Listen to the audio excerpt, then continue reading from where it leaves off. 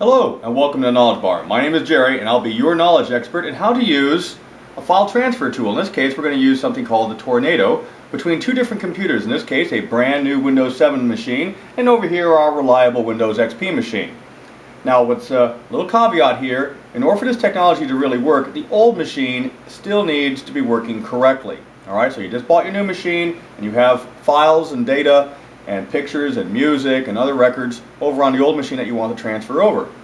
So a simple way to do this, we can take this tool right here, in this case it's USB on each end and the software transfer information is inside the device. So all you have to do really is just plug it in on each side, plug it into the Windows 7 machine, plug it into the Windows XP machine,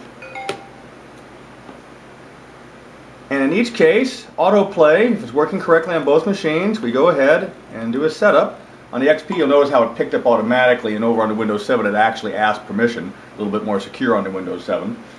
And boom, automatically, without anything else, each machine has set up a split screen, basically saying, this is my computer, this is my stuff, and this is the stuff on the other machine. So once again, each machine says, this computer, other computer, this computer, other computer. So in this case, we go to our new machine and it'll say the other computer and I can go ahead and now we have to know where stuff is on the old machine and I, in this case I would go ahead on a Windows XP machine I would go into C drive documents and settings go into the uh, into the owner user account go into my documents and be able to transfer over that material and when I'm done all I have to do after transferring everything from one machine to the other and I would drag it from here to my pictures folder on the bottom of the screen, which is this computer.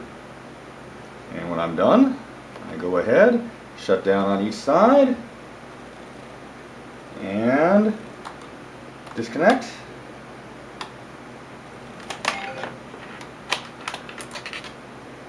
And done. Cool, huh? Thanks for watching.